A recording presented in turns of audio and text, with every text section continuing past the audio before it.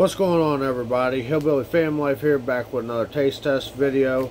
We got the uh, Tapatio hot fries corn and potato snack with original salsa picante hot sauce flavored seasoning.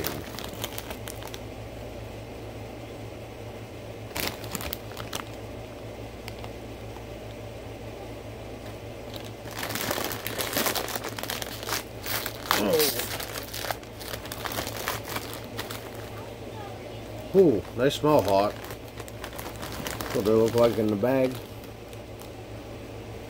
They don't get very much, really. These also came from, where did we get these again? Dollar Tree, wasn't it? Dollar Tree. For a dollar twenty-five. That's what they look like.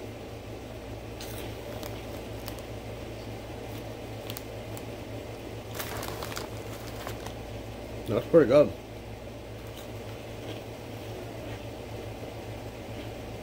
Definitely got a lot of seasoning. I'm on number two and I'm already starting to feel spice.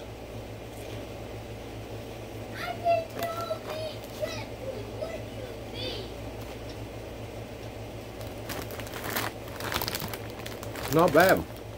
I'm definitely starting to feel the heat.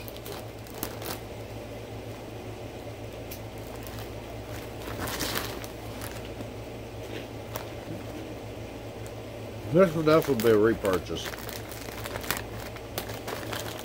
If y'all want to try them out, that's what the bag looks like. Or yeah, if you have tried them, let us know in the comments what you think about them. Or if you do go try them, let us know in the comments too. But those are pretty good.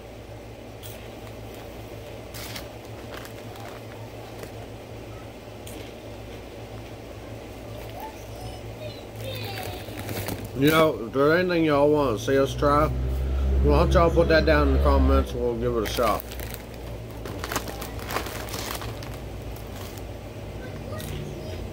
Alright. That's pretty spicy. I need to get me a drink. So that's it for me. Double thumbs up.